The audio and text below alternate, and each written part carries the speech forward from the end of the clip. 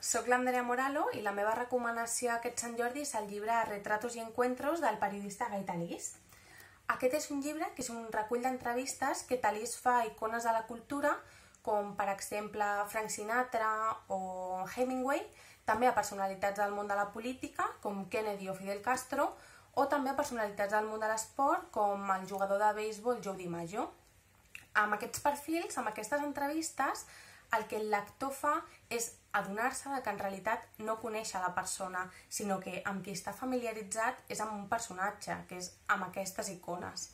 Uh, tot això és possible gràcies a la capacitat d'observació que té Talís, també a un llenguatge molt ric i molt cuidat, i també gràcies a la manera que Talís té d'introduir el lector a l'escena, que és una de les característiques principals de l'escriptor, considerat un dels pioners en el nou periodisme. Us el recomano.